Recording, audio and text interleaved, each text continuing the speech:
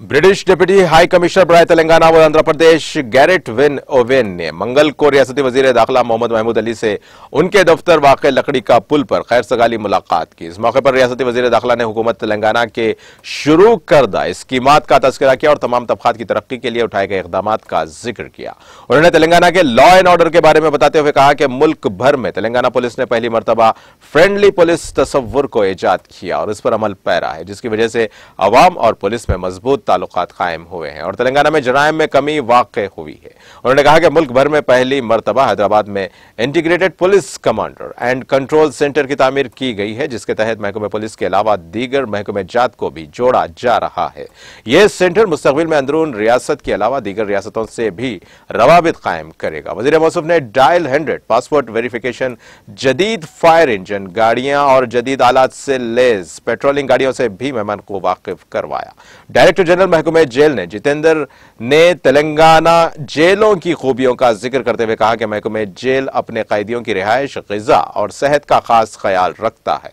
आज़ाद और मुकीम कैदियों को महकमे जेल की तरफ़ से ज़रिए माश भी फ्राहम किया जा रहा है। तेलंगाना महकमे जेल के तहत मुताद मकाम पर पेट्रोल पंप्स चलाए जा रहे हैं, जिससे कैदियों को मुलाजिमत और महकमे को आमदनी हासिल हो रही है।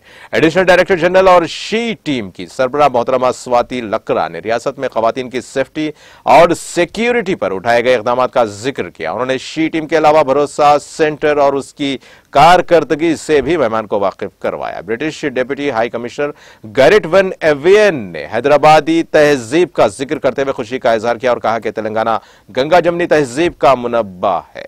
हुकूमत ने बहुत ही कम मुद्दत में रियासत को गैर मामूली तरक्की से हमकिनार किया है। मेहमान डिप्टी हाई कमिश्नर ने कहा कि हैदराबाद बहुत ही खूबसूरत और महफूज मुकाम है।